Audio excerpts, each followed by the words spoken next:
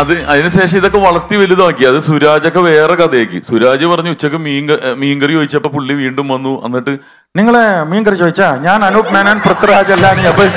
അങ്ങനെ വളർത്തി പലരും വേറെ ഇതിലാക്കി പക്ഷെ എനിക്ക് നല്ല കാശ് വന്നു കാരണം എന്താ പറഞ്ഞാൽ ഞാൻ ചെല്ലൂല എന്ന് പറഞ്ഞിട്ട്